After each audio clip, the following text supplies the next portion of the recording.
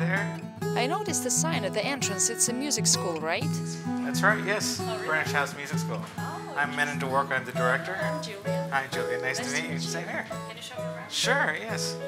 Here's one of our rehearsal studios right here. I can also show you, besides just music, also use this as a gallery space. This is a local New York artist named Dan Bean, and his work has been up since November. We also have dance classes, we have readings, anything basically where someone needs a stage and they can present to the public. And how old is the school? Uh, more than 100 years. It used to be just somebody's house, but they bought this house, and it was originally for, you know, at that time the village was filled with very poor people. So this settlement house was specifically made for young families who were just starting out, many from Italy or Ireland, who wanted music lessons for their children. So the community supported the school, and they got very cheap, affordable lessons, and we've been doing the same thing ever since.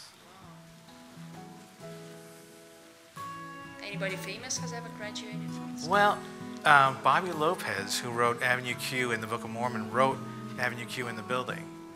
So we've had students like him over the years where people were just kind of hot doing hobbies, turned out to be very talented and went on and, and did great things outside. Oh, wonderful. Yeah.